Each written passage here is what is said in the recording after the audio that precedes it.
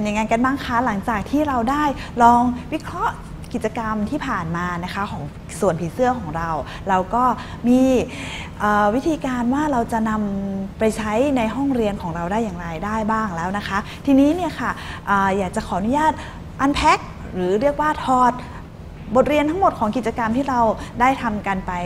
ในที่ผ่านมาสักครู่นี้นะคะ ว่ากิจกรรมที่เราได้ทำของส่วนผีเสื้อนั้นนะคะ มีองค์ประกอบอะไรบ้าง ในประเด็นแรกนะคะ ก็จะเป็นในลักษณะที่เรียกว่า technological tool หรือ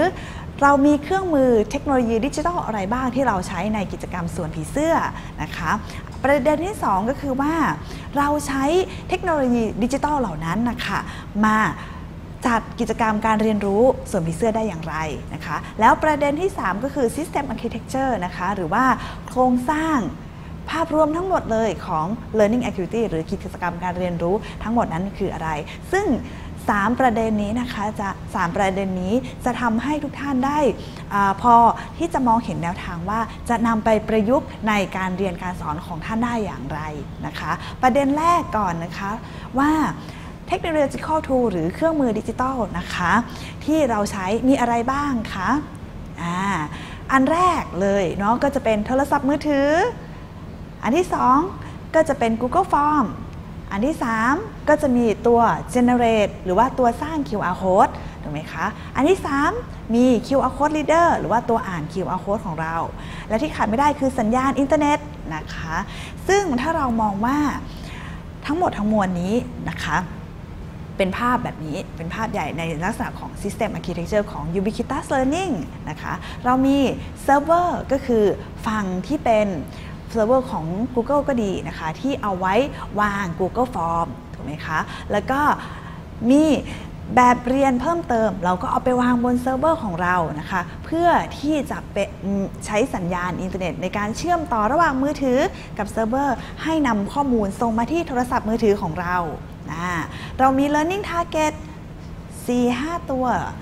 สมมติว่าเป็นผีเสื้อ 4 ตัว ผีเสื้อตรงนั้นนะคะก็เรียกว่า learning target ถูกไหมคะ ผีเสื้อทั้ง 4 ตัวนี้จะมีอะไรคะ มี QR code แปะอยู่ ถูกไหมคะ จากนั้น ผู้เรียนตรงนี้นะคะ ก็จะถือโทรศัพท์มือถือถูกไหมคะ ซึ่งโทรศัพท์มือถือตรงนั้นก็จะมีตัวอ่าน QR code ซึ่งในกิจกรรมผีเสื้อของผู้บรรยายเองเนี่ยใช้แอปพลิเคชันที่ชื่อว่า Quick Mark อ่าซึ่งตรงนี้ก็จะมีตัวอ่าน QR code ฟรีมากมาย ซึ่งท่านสามารถไปดาวน์โหลดได้ ถ้าเป็นอ่าใครใช้โทรศัพท์ที่เป็นอ่า iOS ก็เข้าไปที่ใน App Store ถ้าใครใช้ของ Android ก็เข้าไปที่ Google Play แล้วก็เสิร์ชหาว่า QR Code Reader มีตัวไหนบ้างที่ฟรีเราก็นำมาใช้ได้นะคะอ่าจะเห็นว่าผู้เรียนนะคะถือโทรศัพท์มือถือ แล้วในโทรศัพท์มือถือนั้นมีตัวอ่าน QR Code ใช่ไหมคะ จากนั้นผู้เรียนก็ถือโทรศัพท์มือถือที่มีตัวอ่าน QR Code เข้าไปสแกน QR Code ใน Learning Target แต่ละตัวอ่า จากนั้นข้อมูลก็จะเชื่อมโยงระหว่างเซิร์ฟเวอร์โทรศัพท์มือถือ แล้วก็ Learning Target อ่าทีนี้ก็จะเห็นว่าพอเราสแกนโทรศัพท์พอเราเอาเอาโทรศัพท์ของเราไปสแกน QR Code ปึ้งอ่าตรงนี้ Google Form ก็จะเข้ามาที่โทรศัพท์มือถือของเรา ถูกไหมคะตรงนี้จะเป็นการเชื่อมโยงระหว่างสัญญาณเอ่อเราจะใช้สัญญาณอินเทอร์เน็ตเชื่อมโยงระหว่างเซิร์ฟเวอร์ที่เราเก็บ Google Form ไว้ Google Form ปรากฏที่โทรศัพท์มือถือของเราใน Target นั้นๆ ใน Target ที่1อ่าเราก็จะตอบคำตอบลงไปที่เราได้วางไว้ใน Google Form นะผ่านสัญญาณอินเทอร์เน็ตมือถือผ่านสัญญาณอินเทอร์เน็ตถูกไหมคะ จากนั้นแล้วถ้าเราตอบผิด เราสามารถวางลิงก์ลงไปใน Google Form ตรงนั้น คลิกลิงก์เสร็จแล้ววิ่งเข้าไปหาเซิร์ฟเวอร์อีกครั้งหนึ่ง เพื่อที่จะดาวน์โหลดแบบเรียนเพิ่มเติมหรือว่า supplementary material ซึ่ง supplementary material หรือแบบแหล่งการเรียนรู้เพิ่มเติมตรงนี้นะคะ จะสามารถเป็น text ไฟล์ก็ได้ เป็นวิดีโอคลิปก็ได้ หรือเป็น simulation ที่เราอยากจะให้ผู้เรียนของเราได้เกิดการเรียนรู้เพิ่มขึ้นนั่นเองอประเด็นที่ 2 ที่เราจะมองเห็นกันก็คือว่า ตรงนี้นะคะ การที่เราวิ่งหรือว่าถือโทรศัพท์มือถือของเราไปแตะ QR code แต่ละตัว เราก็จะเดินหมุนหมุนหมุนทั่วกับ learning target ทุกตัวถูกไหมคะเพราะฉะนั้นเราจะเห็นได้ว่าทุกครั้งที่นักเรียนหรือว่าทุกครั้งที่ท่านได้ ไปสแกน QR code ของผีเสื้อแต่ละตัวในแต่ละด่าน ก็จะมีการเชื่อมโยงข้อมูลเข้าหากันแบบนี้นะคะ เพราะนั้นตัว System Architecture หลักๆ ในกิจกรรมที่ผ่านมาก็จะเป็นหน้าตาโดยภาพรวมแบบนี้นั่นเอง เพราะนั้นโดยสรุปก็คือว่า learning target ก็จะเป็นตัวที่เราอยากจะให้ผู้เรียนได้รับความรู้นั่นเอง หรือว่าจะเป็นคอนเซปที่เราจะสามารถให้ผู้เรียนสร้างขึ้นด้วยตัวของของผู้เรียนเองนะคะ และตัวเทคโนโลยีเทคโนโลยีข้อทูตรงนี้ก็คือจะมีอะไรบ้าง มีโทรศัพท์ QR code ตัวอ่าน QR code แล้วก็ Google Form เซิร์ฟเวอร์ที่วาง Google Form ต่างๆนะคะ รวมถึงมีตัว generate QR code ด้วย ประเด็นหลักสำคัญตรงนี้นะคะ แล้วเราจัดกิจกรรมการเรียนรู้ ภายใต้ข้อมูลอะไรที่เราวางไว้ในเบื้องหลังของ Google Form นั้นนะคะJonassen นะคะก็บอกว่ามีเครื่องมืออันนึงที่เรียกว่า Mind Tools นะคะ Mind Tool เนี่ยเป็นตัวคอมพิวเตอร์แอปพลิเคชันอันหนึ่งที่เราสามารถใช้กระตุ้นนะคะ ผู้เรียนให้เกิดการสร้าง องค์ความรู้ได้ด้วยตนเอง รวมกระทั่งถึงการคิดวิเคราะห์แยกแยะในองค์ประกอบของเนื้อหาต่างๆ รวมถึงพัฒนา higher order thinking ของนักเรียนของเราด้วยนะคะ ตรงนี้ค่ะ ตรงที่เป็นเบื้องหลังของ Google Form ที่เราเอาไว้ เราก็ได้ประยุกต์ใช้นะคะ ตัวหนึ่งที่ My Tool ตัวหนึ่งที่เรียกว่ากริดหรือเรียกว่า repertory grid นะคะ ซึ่งจะเป็น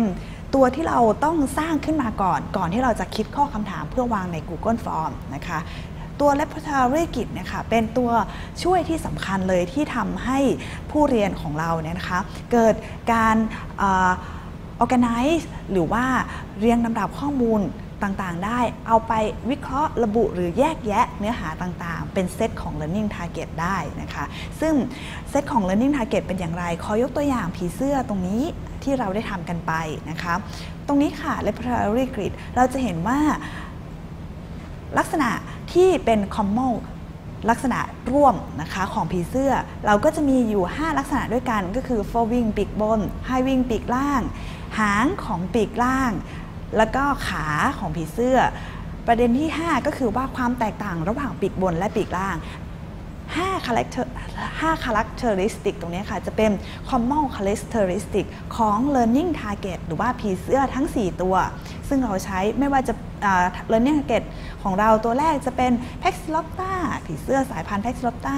หรือผีเสื้อสายพันธุ์ Papillodamilus ผีเสื้อสายพันธุ์ female papillo memon หรือ male papillo memon ตรงนี้นะคะ4ตัวเราเรียกว่า learning target 4 ตัว learning target ตรงนี้มี common characteristic 5 แบบเหมือนกันนะคะ ตรงนี้เราก็จะสร้างตารางตรงนี้ไว้ อันนี้ก็เหมือนเป็นข้อมูลที่ถูกต้องหรือว่าคำตอบที่ถูกต้องที่เราต้องสร้างขึ้นมาก่อน เพราะนั้นถ้าสมมุติว่าเราจะวาง ลักษณะของเนื้อหาต่างๆ ไม่ว่าจะเป็นฟัน หรือว่าเป็นออร์แกเนลตับไตปอดตรงนี้ค่ะ เราก็จะต้องหา common characteristic ของพวกนี้ให้ได้ หรือว่าจะเป็นพืชก็ดีพืชใบเลี้ยงเดี่ยว พืชใบเลี้ยงคู่ หรือสายพันธุ์ของนกอะไรอย่างนี้นะคะ ก็จะมี common characteristic ที่คล้ายกัน จากนั้นเราก็จะวางคำตอบที่ถูกต้องลงไป อย่างเช่นว่า ผีเสื้อสายพันธุ์ Paxillopta ตรงนี้นะคะ มี four wing เป็นสีอะไร deep brown แต่ในขณะเดียวกันผีเสื้อสายพันธุ์ Papillodemilus มี four wing เป็นสีอะไร black เป็นสี สีดำ with many white spot เป็นต้นนะคะและอีกประเด็นหนึ่งที่เราสามารถแยกแยะได้ว่าผีเสื้อสายพันธุ์ตัวผีเสื้อสายพันธุ์แต่ละสายพันธุ์ที่สายพันธุ์เดียวกัน อย่างเช่น p a p i l l o m e m o n เพศผู้กับเพศเมียตรงนี้ค่ะ มีลักษณะที่ต่างกันอย่างไร ตรงนี้เราจะเห็นได้ว่าประเด็นที่ 3 ลักษณะของผีเสื้อที่เรียกว่ามีหางตรงปีกล่างหรือเปล่านะคะมี tail have having tails on high wing หรือเปล่านะคะถ้าเป็น female ก็คือมีก็คือ yes แต่ถ้าเป็น male no นะคะก็คือไม่มีตรงนี้ค่ะ ถ้าสมมติว่านักเรียนของเราตอบผิดอ่าเราก็จะมีแหล่งเรียนรู้เพิ่มเติมให้ได้ ให้ให้เขาไปสืบสอบใช่ไหมคะ ตรงนั้นจากนั้นแล้วเขาก็กลับมาตอบ ใน Google Form ให้ถูกต้อง ตรงนี้ค่ะจะเป็นประเด็นที่ทำให้เขาเกิดการสืบสอบได้ละค่ะว่า ตกลงแล้วผีเสื้อตัวผู้กับตัวเมียลักษณะ characteristic แบบไหนที่สามารถจำแนกแยกแยะได้ตรงนี้ทุกท่านพอจะมองเห็นภาพของคำว่า repertory grid แล้วเนาะก็คือจะต้องมี common characteristic ของ learning target 1 2 3 4 ที่เราอยากจะให้ผู้เรียนของเราเกิดการเรียนรู้ แล้วก็มี learning target แต่ละตัวค่ะ ทั้งหมดนี้นะคะก็จะรวมกัน เป็นการที่เราถอดบทเรียนจากผีเสื้อขึ้นมา หวังว่าทุกท่านจะสามารถนำไปประยุกต์ใช้ในการจัดการเรียนการสอนของท่านได้ค่ะ